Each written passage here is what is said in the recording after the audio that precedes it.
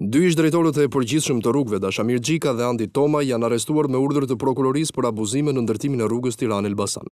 Bashkë me dy ish-zyrtarët e lartë në pranga kanë rënë edhe Rexhep Tarba, mbikëqyrës i punimeve në rrugën e Gjinarit dhe shtetasit Agron Hysa, Kujtim Hysa dhe Rezarta Bokçiu, për të cilët është vendosur nga gjykata masa e arrestit shtëpiak. Gjashtë persona të tjerë janë shpallur në kërkim nga prokuroria e cila paralajmëron se do të ketë edhe arrestime të tjera për këtë çështje që ndodhej në Prokurori nga prilli i vitit dy mijë e shtatëmbëdhjetë.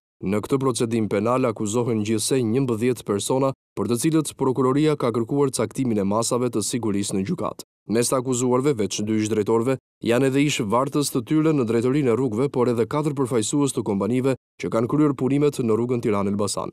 Arrestimet janë kryer pas hetimit të nisur nga Prokuroria e Elbasanit, në njëmbëdhjetë prill dy mijë e shtatëmbëdhjetë për veprat penale Vjedhja dhe shpërdorimi i detyrës. Gjykata e Elbasanit ka lëshuar urdhër arresti edhe për kalibruesit që kanë firmosur marrjen në dorëzim të punimeve jashtë cilësisë dhe përtej afateve ligjore të rrugës Elbasan-Gjinar, për të cilën prokuroria thotë në vendim se nuk është realizuar si vepër pavarësisht fondeve të shpenzuara. Njëmbëdhjetë arrestet janë firmosur nga kryeprokurori i Elbasanit, Ardian Nezha. Mësohet se kjo dosje është një nga procedimet për të cilat prokurorja Amanda Xhaferi pati konflikt me ish-drejtuesin e Prokurorisë së Elbasanit, Dritan Gina, i cili vendosi që t'ia hiqte nga duart hetimin në fjalë bashkë me disa dosje të tjera. Andi Toma ka qenë drejtor i rrugëve në vitet dy mijë e tetë, dy mijë e trembëdhjetë, ndërsa Dashamir Xhika ka drejtuar këtë sektor nga viti dy mijë e trembëdhjetë deri në shtator të dy mijë e shtatëmbëdhjetës.